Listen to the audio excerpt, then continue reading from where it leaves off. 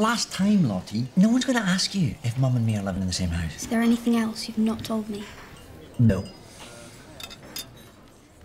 Why are you writing that down? So you can't say you didn't say it. Okay, kids, just to remind uh, Mickey, stop playing chip Jenga. Just to remind everyone, what we're saying is, when we get to Scotland, nobody is to tell anyone that Mum and me are living in different houses. Okay? Can we tell them that you accidentally walked in while the headmistress was doing a poo? It's Can not we really. tell them about tadpoles turning into frogs? Absolutely, I think that'd be a, an excellent That's topic of conversation. much better topic of conversation. So, as long as we're all agreed that when we get there, none of us mention anything about this, okay? I wasn't going to mention it anyway. It's boring. Exactly. Boring. It's lying. It's it's not lying. It's not. It's not. It's not mentioning something. What if someone asked me, are your mum and dad getting divorced? Lottie, you're visiting your granddad. You're not going on the Jeremy Kyle show.